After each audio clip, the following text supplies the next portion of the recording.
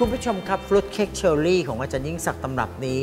เป็นหนึ่งในหลาย ๆ ร้อยล้านตำรับของโลกใบนี้นะคุณผู้ชม เพราะมีคนเชี่ยวชาญในการทำฟรุตเค้กไว้มากมายไก่กองทีเดียว จริง ๆ แล้วหลักการในการทำมันไม่ใช่เรื่องยุ่งยาก นี่คือเชอร์รี่เชื่อมแห้ง แล้ววิธีการที่จะทำให้มันไม่ติดกัน เราก็จะเอาเชอร์รี่แดง ๆ เนี่ยเคล้าผสมกับแป้งสาลีไว้ก่อนคุณผู้ชม อันนี้เป็นเทคนิคแบบแรกที่ทำให้ผลไม้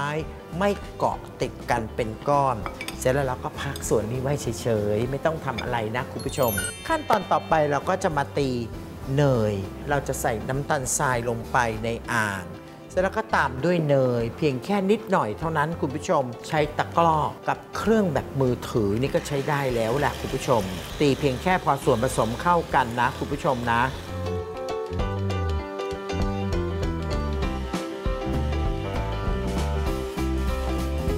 ค่เนยกับน้ำตาลทรายเข้ากันแค่นี้พักไว้สักครู่หนึ่ง เรากลับมาที่แป้งสาลีอเนกประสงค์ผงฟู เกลือป่นนิดนึงวานิลาชนิดผงเราก็ใส่ลงไป เสร็จแล้วก็จัดการคนให้เข้ากัน เสร็จแล้วไข่ไก่แช่เย็นจำนวน 4 ฟองตามแบบตำรับนี้ เราก็จะตีส่วนผสมพอเข้ากัน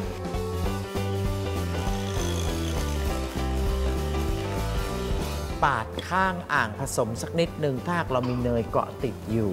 ในระหว่างที่กำลังจะผสมแป้ง และใส่เครื่องปรุงอื่นๆคุณผู้ชมต้องแน่ใจว่าได้วอร์มเตาอบ คือตั้งเตาไว้แล้วเรียบร้อย อุณหภูมิอย่าสูงมากสำหรับการทำฟรุตเค้กเราจะค่อยๆ ใส่แป้งที่เราเตรียมไว้ลงไปทีละน้อยอะใส่ลงไปก่อน3 ช้อน เสร็จแล้วคุณผู้ชมครับ เราก็ใช้พายยางของเราอันเดิมนี่แหละ คนผสมเบา ๆ มือ แบบ folding ถ้าส่วนผสมของแป้งหายไป หมายความว่าถูกกลบไปเรียบร้อย เราก็ใส่ต่อลงไปเห็นไหมคุณผู้ชม เสร็จแล้วเราก็ใช้วิธีการเดิมก็คือ folding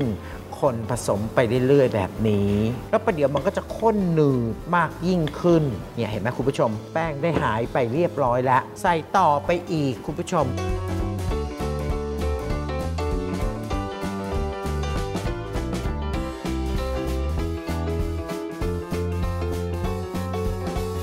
แป้งส่วนที่เหลือเราก็ใส่หมดเลยคุณผู้ชมคราวนี้แหละจัดการคนผสมให้เข้ากันเป็นครั้งสุดท้าย ส่วนผสมของเค้กที่ได้จะเนื้อลักษณะข้นหนืดเห็นไหมคุณผู้ชม เนื้อฟุตเค้กจะต้องเป็นแบบนี้คุณผู้ชม เอาละก็อย่าลืมว่าเรายังมีเชอร์รี่ที่เราเคล้าผสมไว้ คุณผู้ชมก็โกยเชอร์รี่ใส่ลงไป เศษแป้งไม่เอานะ คุณผู้ชมนะ ใช้เฉพาะตัวเชอร์รี่ผลไม้ที่เราเตรียมไว้ใส่ลงไป เคล้าผสมให้เข้ากัน เนี่ยเดี๋ยวหลับตานึกภาพนะ พอเราหั่นเค้กออกมาเราจะเห็นเนื้อเชอร์รี่ สีแดงๆ แทรกตัวอยู่ในเนื้อเค้กมันจะชวนรับประทานมากคุณผู้ชม ทีนี้เรามาดูวิธีการอบพิมพ์ขนมคุณผู้ชมครับ เป็นพิมพ์โลฟแบบนี้ทาเนยปูกระดาษที่ก้นพิมพ์นะ คุณผู้ชมจะเห็นว่าเรามีกระดาษอยู่ที่ก้นพิมพ์ เราก็ตักส่วนผสมของเค้กเนี่ยใส่ลงไปในพิมพ์ จะได้ 2 พิมพ์พอดีพอดีนะคุณผู้ชม เสร็จแล้วเราก็ใช้ช้อนเนี่ยเกลี่ยให้เค้กเนี่ยเข้ามุม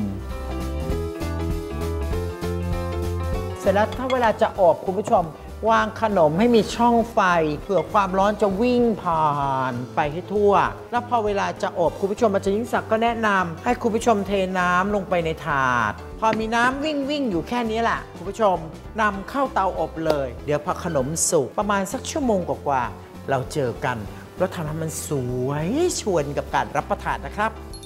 นี่เค้กของเราสุกแล้วคุณผู้ชม และที่คุณผู้ชมเห็นอาจารย์ยิ่งศักดิ์กำลังคนอยู่เนี่ยคือ Royal Icing ไข่ขาวสดๆตีกับน้ำตาลไอซิ่งจนกระทั่งขึ้นฟูแล้วก็หนืดแบบนี้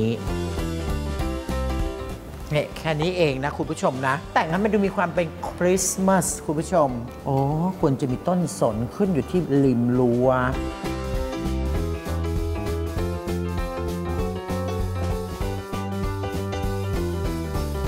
น้ำตาลไอซิ่งคุณผู้ชมหิมะตกแล้วนะลูกดูแลรักษาสุขภาพนะ อะไรอย่างนี้เป็นต้น ขอให้เป็นปีที่ทุกคนมีความสุ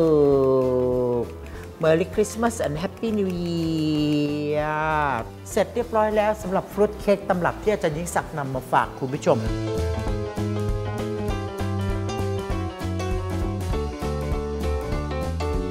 และถ้าคุณผู้ชมสนใจ